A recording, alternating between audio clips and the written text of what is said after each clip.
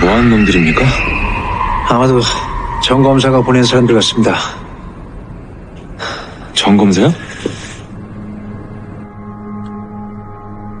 예상대로였습니다. 빈센조가 장난을 친 겁니다.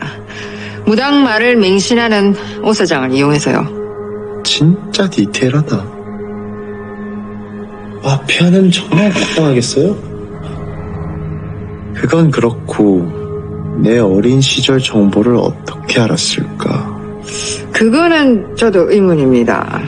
가능성이 있다면 대외 안보 정보는 정도입니다. 도대체 어떻게 알았을까? 지금 상황으로 봐서는 바벨과 대창이 서로 충돌하게 만든 것 같습니다. 아무리 그래도 대창일보 정배 아저씨는 나한테 그러면 안 되지. 어떻게 할까요? 빈센조가 이 충돌을 끝내게 만들어야죠. 아, 참. 보여드릴 게 한 가지 있습니다. 뭐요?